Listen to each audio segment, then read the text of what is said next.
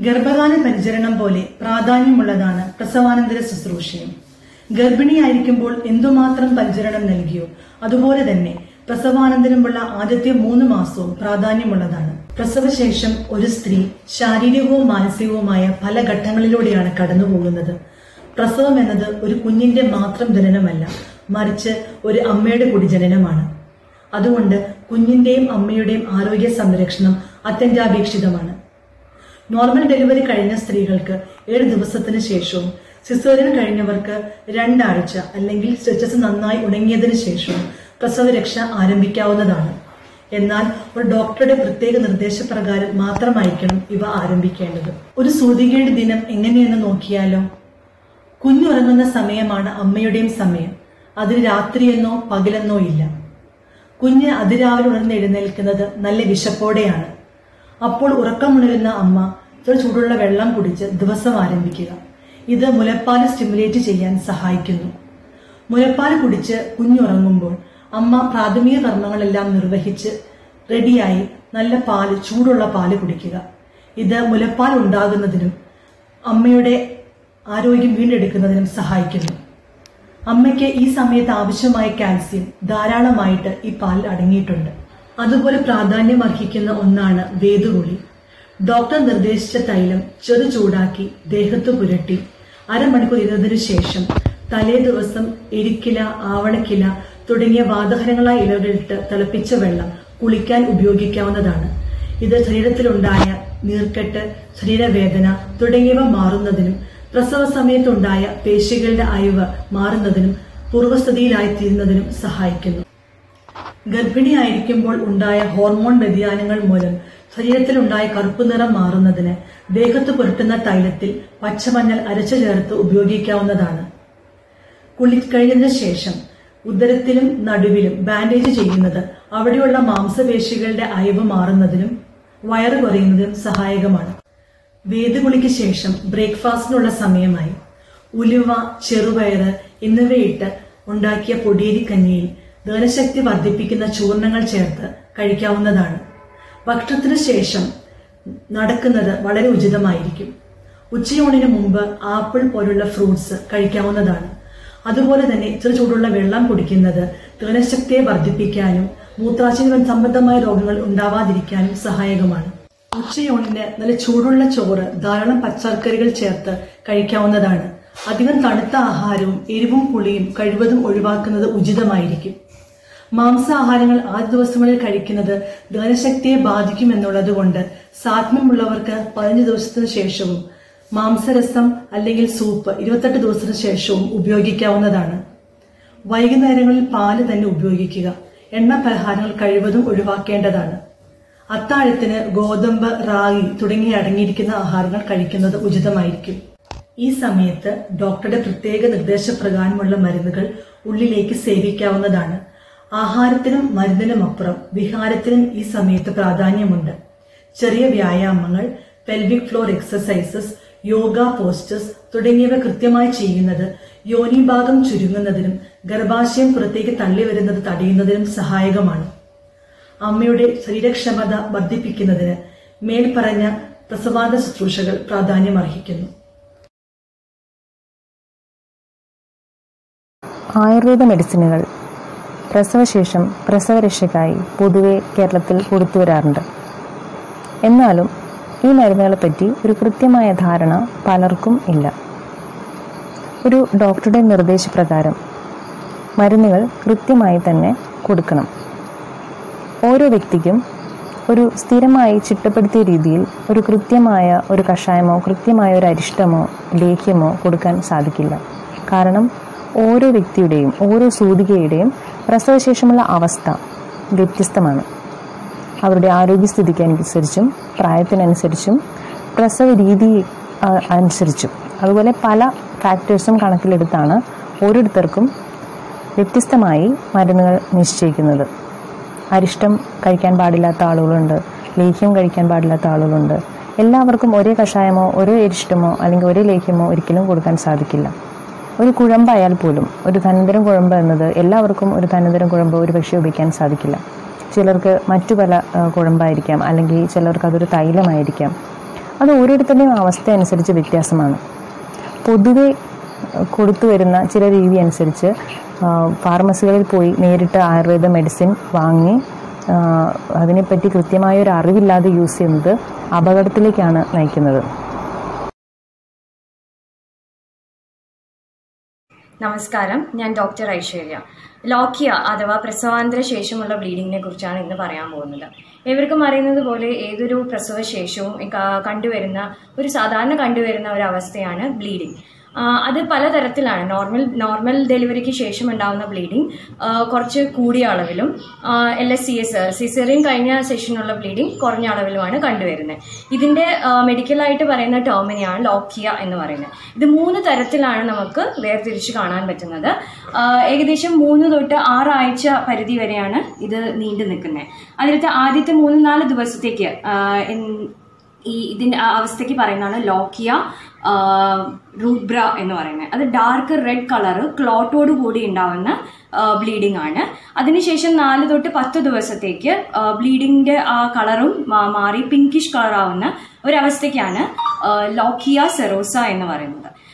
അത് ഏകദേശം പത്ത് ദിവസം വരെയും നീണ്ടു നിൽക്കും. പത്ത് ദിവസത്തിന് ശേഷം ഇത് കുറയുന്നത് വരെ ലോക്കിയ ആൽബ എന്നുള്ളൊരു കണ്ടീഷനായിട്ട് മാറും. ഈ ഒരു മൂന്ന് തരത്തിലാണ് ഇതിന് അറിയപ്പെടുന്നത്. ഇതിന്റെ ക്വാണ്ടിറ്റി ആദ്യം കൂടി പതുക്കെ പതുക്കെ കുറഞ്ഞു വരുന്ന ഒരു കണ്ടീഷനാണ് വേറെ സ്മെല്ലോട് കൂടിയോ അതല്ലെങ്കിൽ വേദനയോട് കൂടിയ ഉള്ള ഒരു ലോക്കിയാണെങ്കിൽ തീർച്ചയായിട്ടും മെഡിക്കൽ സഹായം തേടേണ്ടതാണ്. ഇതിന് നമുക്ക് ചെയ്യാൻ പറ്റുന്നത് റെസ്റ്റ് പ്രസവശേഷമുള്ള കറക്റ്റ് ആയിട്ടുള്ള റെസ്റ്റ് എടുക്കുക വെള്ളം ധാരാളം കുടിക്കുക ശരീരത്തിന്റെ താപനില എന്നും നിലനിർത്തുക. ഈ ഒരു രീതിയിലാണ് നമ്മൾ ഇത്രയുമൊക്കെ ചെയ്തിട്ടും ഇതിൽ ബുദ്ധിമുട്ടുകളുണ്ടെങ്കിൽ തീർച്ചയായിട്ടും വൈദ്യസഹായം തേടണം. നന്ദി നമസ്കാരം. Happy women's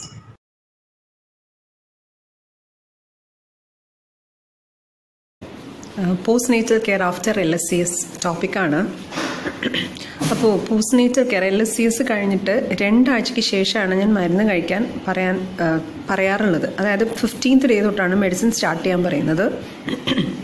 കൊടുക്കുന്ന മെഡിസിൻസിൽ ആദ്യം അഗ്നിവർദ്ധകമായിട്ടുള്ളതും പിന്നെ കുറച്ച് ഗ്യാസൊക്കെ പോകാൻ വേണ്ടിയിട്ടുള്ളതും പിന്നെ കഷായങ്ങൾ ഉണ്ടാവും. കഷായങ്ങൾ പറഞ്ഞു കഴിഞ്ഞാൽ അവരുടെ തടി ഉണ്ടോ അത് പാലുണ്ടോ നേച്ചർ ഓഫ് ജോബ് എന്താണ് നേരത്തെ വല്ല അസുഖങ്ങൾ ഉണ്ടായിരുന്നോ അതൊക്കെ നോക്കിയിട്ടുള്ള കഷായങ്ങളും അതിന്റെ കൂടെയുള്ള ആവർത്തികളും കൊടുക്കാറുണ്ട്. പിന്നെ അരിഷ്ടം അത് അതിന്റെ കൂടെ കഴിക്കുന്ന ഗുളികകൾ ഇത് കൊടുക്കാറുണ്ട്. പിന്നെ വേത് കുളിയും ഞാൻ പതിനഞ്ചാമത്തെ ദിവസം തൊട്ട് തന്നെയാണ് സ്റ്റാർട്ട് ചെയ്യാൻ പറയാറുള്ളത്. അപ്പോൾ വേത് കുളിക്കുമ്പോൾ എണ്ണ സ്റ്റിച്ചിൽ തട്ടിയിട്ട് സ്റ്റിച്ച് ഏകദേശം ഉണങ്ങി തുടങ്ങിയിട്ടുണ്ടാവും. അപ്പോൾ എണ്ണയൊക്കെ ദേഹത്ത് നല്ലോണം തേച്ച് പിടിപ്പിച്ച് നമ്മൾ വേദമൊക്കെ കുളിച്ച് കഴിഞ്ഞിട്ട് നന്നായി സ്റ്റിച്ച് തുടച്ച് അതിന്റെ മരുന്നുകൾ എന്തെങ്കിലും ഉണ്ടെങ്കിൽ അത് അപ്ലൈ ചെയ്യാൻ പറയാറുണ്ട്. അതുപോലെ തന്നെ ക്ലോത്ത് ബൈൻഡേഴ്സ് യൂസ് ചെയ്തിട്ട് വയറ് കെട്ടാൻ പറയാറുണ്ട്. പിന്നെ നമ്മൾ അതിന്റെ ഭക്ഷണ രീതികളൊക്കെ നമ്മൾ പറയാറുണ്ടല്ലോ എൽ എസ് സി എസിനും മറ്റതിനും ഒക്കെ ഒരുപോലെ തന്നെയാണ്. രണ്ടാഴ്ചത്തേക്ക് നോൺ വെജിറ്റേറിയൻ ഒന്നും കഴിക്കരുതെന്ന് പറയാറുണ്ട്. പിന്നെ നമ്മൾ നല്ലോണം റെസ്റ്റ് എടുക്കാനും പറയാറുണ്ട്. ഇന്നത്തെ കാലത്തെ കുട്ടികളൊക്കെ അനുസരിക്കില്ല എന്നൊക്കെ പറയും. പക്ഷെ പാരൻസ് നിർബന്ധമായിട്ടും പറയണം എന്ന് തന്നെയാണ് പറയണേ. മാക്സിമം നീണ്ടു നിവർന്ന് കിടന്ന് കിടക്കന്നെ വേണം. അതുപോലെ ഫീഡ് ചെയ്യുന്ന സമയത്ത് മടിയിൽ ഒരു തലയണ വെച്ചിട്ട് വേണം. ചെയറിലിരുന്ന് മടിയിൽ തലയണ വെച്ചിട്ട് കുഞ്ഞിനെ അതിന്റെ മുകളിൽ വെച്ചിട്ട് വേണം ഫീഡ് ചെയ്യാൻ. കാൽ അതുപോലെ കുറച്ച് റേസ് ചെയ്ത് വെച്ചിട്ടിരിക്കാൻ പറയാറുണ്ട്. പിന്നെ നമ്മൾ വെള്ളം ആവശ്യത്തിന് കുടിക്കാൻ പറയാറുണ്ട്. പൊതുവേ പെരുംജീരകമൊക്കെ ഇട്ട് തിളപ്പിച്ചിട്ടുള്ള വെള്ളമാണ് കുടിക്കാൻ പറയാറുള്ളത്. വെള്ളം കുടി കുറഞ്ഞു കഴിഞ്ഞാൽ ഇൻഫെക്ഷൻസ് ഒക്കെ വരാറുണ്ടല്ലോ. അതുകൊണ്ട് തന്നെയാണ് പറയണേ. പിന്നെ രണ്ടാഴ്ചത്തെ കഷായം കഴിക്കുമ്പോൾ നോ നോൺ വെജിറ്റേറിയൻ ഫുഡ് ആ രണ്ടാഴ്ച കഴിഞ്ഞാൽ ലേഹ്യം പറയാറുണ്ട്. ലേഹ്യം അവരുടെ ശാരീരികാവസ്ഥയൊക്കെ നോക്കിയിട്ട് നമ്മൾ രണ്ട് ബോട്ടിൽ ലേഹ്യം നമ്മൾ അശ്വഗന്ധാതി ലേഹ്യം അതുപോലെ ചനപ്രാശമൊക്കെ നോക്കിയും കണ്ടും കൊടുക്കാറുണ്ട്. ഇതന്നെ ഞാൻ ചെയ്യാറുള്ളൂ എന്റെ പോസ്റ്റ്നേറ്റൽ ട്രീറ്റ്മെന്റ്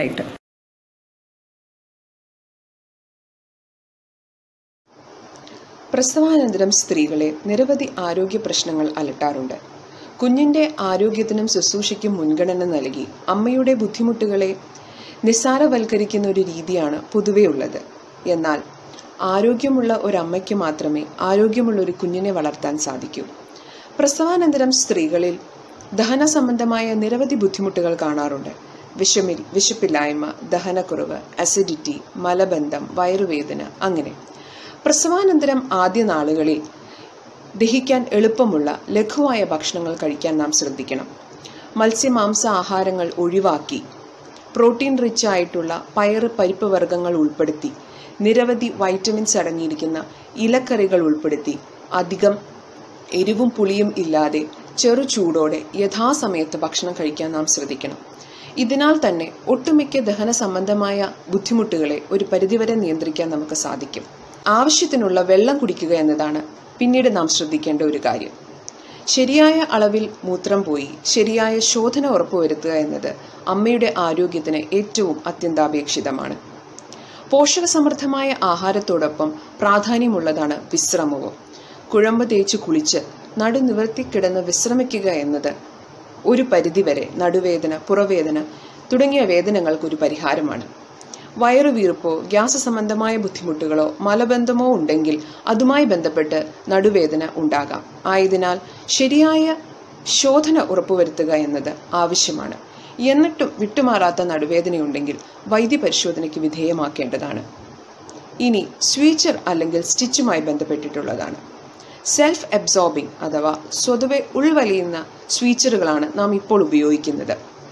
ആയതിനാൽ തന്നെ നാം പ്രത്യേകമായി ഒന്നും ചെയ്യേണ്ടതില്ല. എന്നാലും ഏതെങ്കിലും തരത്തിലുള്ള പഴുപ്പോ സ്രവങ്ങളോ അതിൽ നിന്ന് വരുന്നുണ്ടോ എന്ന് നാം പരിശോധിക്കണം. സ്റ്റിച്ച് ഇട്ട സ്ഥലത്ത് സ്റ്റിച്ച് ഉള്ള സ്ഥലത്ത് അമിതമായിട്ടുള്ള വേദനയുണ്ടെങ്കിൽ തീർച്ചയായും അത് വൈദ്യപരിശോധന നടത്തേണ്ടതാണ്. ചിട്ടയായ പോഷക സമൃദ്ധമുള്ള ആഹാരവും വിശ്രമവുമാണ് അമ്മയുടെ ആരോഗ്യത്തിന്റെ അടിസ്ഥാനം. നമസ്കാരം. ഞാൻ ഡോക്ടർ അഞ്ജു. ഈ കോവിഡ് കാലത്ത് പ്രസവാനന്തരം രോഗവ്യാപനം തടയുന്നതിന് വേണ്ടി നമ്മൾ എന്തെല്ലാം ശ്രദ്ധിക്കണം എന്ന് പറയുന്നതിന് വേണ്ടിയാണ് ഞാനിവിടെ വന്നിരിക്കുന്നത്. പ്രസവത്തിന് പോകുമ്പോൾ അധികം ആൾക്കാരെ കൊണ്ടുപോകാതിരിക്കുക. പ്രസവാനന്തരം അമ്മയെയും കുഞ്ഞിനെയും കാണാൻ വരുന്നവരുടെ എണ്ണം കുറയ്ക്കുക. പരമാവധി വിസിറ്റേഴ്സിനെ ഒഴിവാക്കുക. വരുന്നവരോട് ഹാൻഡ് സാനിറ്റൈസേഷനും മാസ്കും നിർബന്ധമായും പറയേണ്ടതാണ്. അതുപോലെ കുഞ്ഞിനെയും അമ്മയെയും കൈകാര്യം ചെയ്യുന്നവർ മാസ്ക് എന്തായാലും ഉപയോഗിക്കണം. കുഞ്ഞു കിടക്കുന്ന മുറിയും അതുപോലെ വീടും പുകയേൽപ്പിക്കുന്നത് രോഗവ്യാപനം തടയുന്നതിന് സഹായകമാണ്. വൃത്തിഹീനമായ ഒരു സാഹചര്യത്തിൽ കുഞ്ഞിനെയോ അമ്മയെയോ സ്പർശിക്കാതിരിക്കുക. പ്രസവാനന്തരമുള്ള ബ്രസ്റ്റ് ഫീഡിങ്ങിന്റെ ഇമ്പോർട്ടൻസ് എല്ലാവർക്കും അറിയാവുന്നതാണ്. ബ്രസ്റ്റ് ഫീഡിങ്ങിന് തൊട്ട് മുമ്പ് അമ്മ കൈയും ബ്രസ്റ്റും നന്നായി വാഷ് ചെയ്യുകയും അതിനുശേഷം മാത്രം കുഞ്ഞിന് പാൽ കൊടുക്കാനും ശ്രദ്ധിക്കുക. അതുവഴി നമുക്ക് ഈ രോഗത്തിന്റെ വെർട്ടിക്കൽ ട്രാൻസ്മിഷൻ തടയാനായിട്ട് സാധിക്കും. നമസ്കാരം. ഞാൻ ഡോക്ടർ ശ്രീവിദ്യ പ്രസവാനന്തരമുള്ള വേദഗുളിയുടെ പ്രാധാന്യത്തെക്കുറിച്ചാണ് ഞാൻ ഇന്നിവിടെ പറയാൻ പോകുന്നത്. പ്രസവം കഴിഞ്ഞു കഴിഞ്ഞാൽ നമ്മൾ ഔഷധങ്ങൾ ഇട്ട് തിളപ്പിച്ച വെള്ളത്തിൽ കുളിക്കണം. അത് പ്രധാനമായിട്ടും നമ്മുടെ നാട്ടിലെല്ലാം അവൈലബിൾ ആയിട്ടുള്ള പുളിയില മുരിങ്ങയില പുല്ലാന്തിയുടെ ഇല അതുപോലെ തന്നെ പേരയില പ്ലാവില പിന്നെ ഔഷധ നാൽപ്പാമരപ്പട്ട മുതലായി വിട്ടിട്ടാണ് ചെയ്യുന്നത്. ഇത് പ്രാദേശികമായി വ്യത്യാസം വരാം. നമുക്ക് ഏതൊക്കെയാണോ കിട്ടുന്നത് അതിട്ട് ചെയ്യാം. അതുപോലെ തന്നെ ഇതിന് ഉപയോഗിക്കുന്ന വെള്ളം തലേ ദിവസം ഈ ഔഷധങ്ങളിട്ട് തിളപ്പിച്ച് വെക്കുക. പിറ്റേ ദിവസം രാവിലെ അത് ചൂടാക്കിയിട്ട് വേണം കുളിക്കാൻ. അപ്പോൾ കുളിക്കുമ്പോൾ എപ്പോഴും ശ്രദ്ധിക്കേണ്ടുന്നത് ആ വെള്ളത്തിന് നമുക്ക് പറ്റാവുന്ന ഒരു ചൂടേ ഉണ്ടാവാൻ പാടുള്ളൂ. അതിൽ കൂടുതൽ ചൂടിൽ കുളിക്കരുത്. ഇതിനുപയോഗിക്കുന്ന ലേപങ്ങളും ഔഷധങ്ങളും സ്ത്രീയുടെ ഔഷധങ്ങളും എണ്ണകളും സ്ത്രീയുടെ ശരീരപ്രകൃതിയും അതേപോലെ തന്നെ ആ ത്വക്കിന്റെ സ്വഭാവവും അനുസരിച്ച് തിരഞ്ഞെടുക്കുന്നതായിരിക്കും ഉചിതം. ഈ കുളി കഴിഞ്ഞാൽ വയറ് കെട്ടണം. വയറ് കെട്ടുന്നതിന് സാധാരണയായിട്ട് ഒരു പതിനഞ്ച് സെന്റിമീറ്റർ വീതിയുള്ള ഒരു തുണി സെലക്ട് എടുക്കുക. കോട്ടൺ തുണി. അത് അടിവയർ ഉൾപ്പെടെയുള്ള ഭാഗം നന്നായി മുറുക്കി കെട്ടിവെക്കുക അത് ഒരു അഞ്ചു മുതൽ ആറ് മണിക്കൂർ സമയം വരെ അങ്ങനെ കെട്ടണം. അങ്ങനെ ചെയ്യുന്നതുകൊണ്ട് വയറിന്റെ ഗ്യാസിന്റെ ബുദ്ധിമുട്ട് കുറയുകയും അടിവയറിന്റെ ഭാഗങ്ങൾ നന്നായിട്ട് ചുരുങ്ങുകയും യൂട്രസിനെ അതിന്റെ നോർമൽ പൊസിഷനിലേക്ക് കൊണ്ടുവരാനും പേശികളുടെ അയവ് കുറയാനും ഇത് ഉപകരിക്കും. നടുവിന് നല്ല സപ്പോർട്ട് കിട്ടുകയും ചെയ്യും. ഇത്രയും കാര്യങ്ങളാണ് ഇതിന് ശേഷം നമ്മൾ ശ്രദ്ധിക്കേണ്ടുന്നത്. പിന്നെ നിങ്ങൾ എപ്പോഴും ഒരു ഡോക്ടറുടെ നിർദ്ദേശപ്രകാരം എന്താണോ നമുക്ക് അനുയോജ്യമായിട്ടുള്ളത് അത് സെലക്ട് ചെയ്തിട്ട് ചികിത്സകൾ ചെയ്യാനായിട്ട് ശ്രമിക്കുക.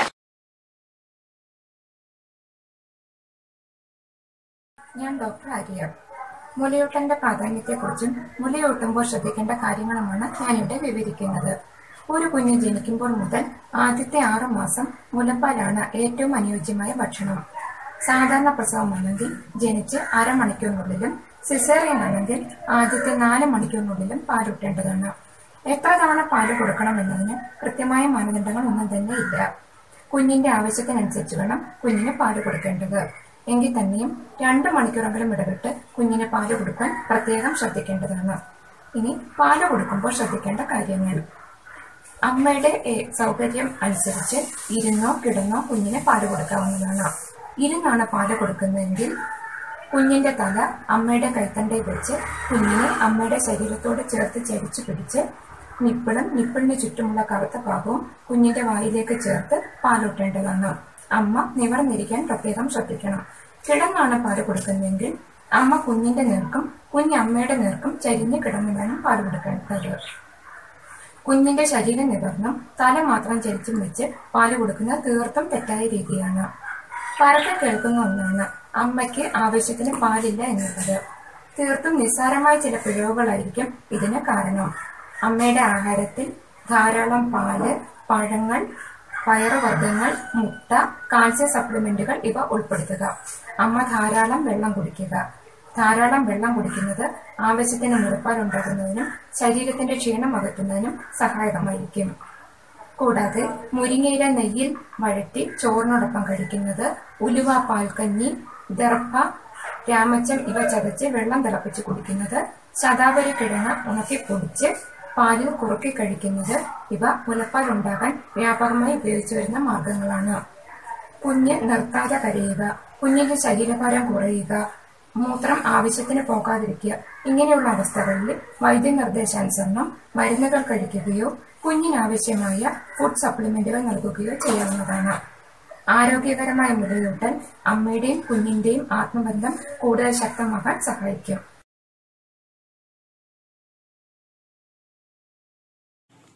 നമസ്കാരം. ഞാൻ doctor Nita Varghese. Postpartum depression അഥവാ പ്രസവാനന്തര വിഷാദ രോഗത്തെക്കുറിച്ചാണ് ഞാൻ നിങ്ങളോട് സംസാരിക്കുന്നത്. പ്രസവം കഴിഞ്ഞ സ്ത്രീകളിൽ വളരെ സാധാരണയായി കണ്ടുവരുന്ന ഒരു മാനസിക രോഗാവസ്ഥയാണ് പോസ്റ്റ് പാർട്ടം ഡിപ്രഷൻ അഥവാ പ്രസവാനന്തര വിഷാദരോഗം. സാധാരണ വിഷാദാവസ്ഥയെ പോലെ തന്നെ സ്ഥായിയായ വിഷമം. കുഞ്ഞിനെ നോക്കാനോ മറ്റു കാര്യങ്ങൾ ചെയ്യാനോ തോന്നാതെ ഇരിക്കുക കുഞ്ഞുമൊത്ത് സമയം ചിലവിടുമ്പോഴും സന്തോഷം തോന്നാതിരിക്കുക. കുഞ്ഞുണ്ടായ സന്തോഷം ഉള്ളപ്പോൾ തന്നെ ചില സമയത്ത് ഒരു കാരണം കൂടാതെ കരച്ചിൽ വരിക വെപ്രാളവും പേടിയും തോന്നുക ഉറക്കവും വിശപ്പും കുറയുക വൃത്തിയായി നടക്കാൻ തോന്നാതെ ഇരിക്കുക കുറച്ചുകൂടി ഗുരുതരമായ അവസ്ഥയിൽ ജീവിതം തന്നെ അവസാനിപ്പിക്കാനുള്ള ചിന്തകൾ മനസ്സിൽ വരിക ഇവയൊക്കെയാണ് പ്രധാന ലക്ഷണങ്ങൾ.